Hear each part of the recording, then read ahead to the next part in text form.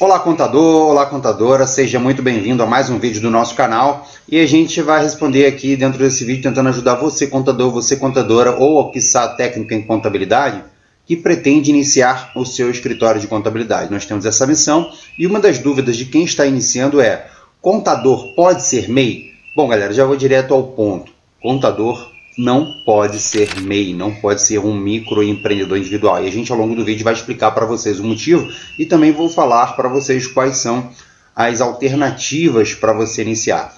Em 2011, eu comecei o meu escritório de contabilidade, eu formalizei o meu CNPJ e naquele momento era permitido iniciar como MEI, como microempreendedor individual.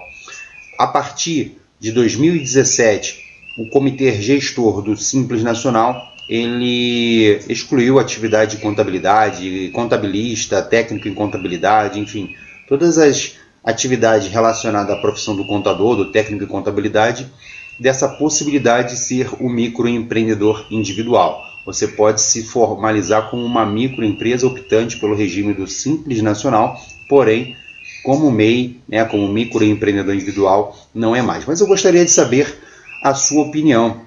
Porque assim, eu lembro que quando eu comecei me ajudou muito essa situação, essa questão de poder é, iniciar como é, MEI. Eu acho que o contador ele é um parceiro do governo, né? ele é, um, é uma profissão que presta serviço, até mesmo de forma é, auxiliando na gestão do, do, do governo, onde a gente gera declarações, nós fazemos a apuração do recolhimento dos tributos que mantém toda a estrutura né, social. Só que é, quando o governo tirou essa possibilidade de, do contador é, ser microempreendedor individual, ele meio que dificultou o início daquele contador que tem poucos recursos financeiros e que talvez não teria ainda a situação para formalizar uma microempresa. Eu acho que deveria assim é, ter uma flexibilização nesse sentido, até mesmo com uma visualização de que o contador é um parceiro do governo, mas isso é a minha opinião. Eu gostaria de saber a, a sua opinião. Então vamos trocar uma ideia aqui nesse sentido. Deixa nos comentários aqui o que você acha. Você acha que se fosse possível, se existisse ali uma brecha para o contador iniciar como microempreendedor individual, isso ajudaria? Ou você acha que indiferente, não, não faria muita diferença? Bom, fato é que hoje o contador ele não pode iniciar a sua jornada do seu escritório de contabilidade como um microempreendedor individual. Eu gostaria até de é, compartilhar com vocês é, uma experiência que foi o meu início. Quando eu comecei o meu escritório de contabilidade, eu comecei de fato, eu iniciei como pessoa física, depois passou um, um, algum tempo eu migrei para um CNPJ na condição de MEI. E aí eu fechei o meu primeiro contrato, onde eu precisava apresentar notas fiscais para o cliente. Precisava apresentar notas fiscais para o cliente. E o que, que aconteceu? O meu, meu cliente exigia nota fiscal. Eu não tinha condições de formalizar ali uma microempresa naquele momento. Eu não, não conseguia fazer um, uma microempresa naquele momento, não tinha é, como fazer. Né? E a condição de microempreendedor empreendedor individual, cara, me facilitou muito, porque eu consegui regularizar de forma rápida no meu endereço residencial, eu consegui um CNPJ, eu consegui formalizar um contrato com aquele cliente e eu consegui, na época, morando no Rio de Janeiro, a gente gerava nota carioca. Né? Então, assim, para o cliente gera um pouco mais de credibilidade quando você.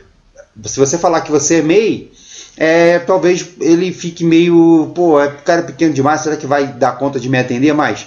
Quando você apresenta uma nota fiscal, um documento né, fiscal, uma nota fiscal, isso aumenta um pouco da sua credibilidade, da credibilidade da sua empresa, porque poucos são os que apresentam notas fiscais sobre os serviços prestados de contabilidade.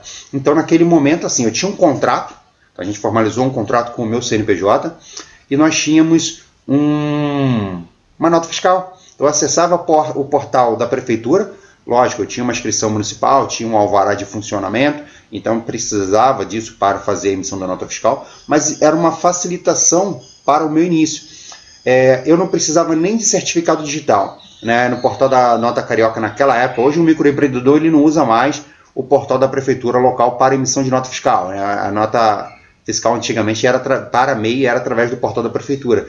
Só que lá tinha uma, uma opção onde a gente cadastrava uma senha e essa senha me permitia gerar a nota fiscal. Cara, isso era fantástico para quem está iniciando. Você já formaliza ali um CNPJ, já tem um, uma nota fiscal. Para o contador que está iniciando isso aí, na minha opinião, ele ajuda. Ele ajuda no sentido de pô, o cliente te ver, é, passar a te ver é, com outros olhos, né? Quando você apresenta uma nota fiscal dos serviços prestados. E aí dá um pouco mais de credibilidade para o seu serviço.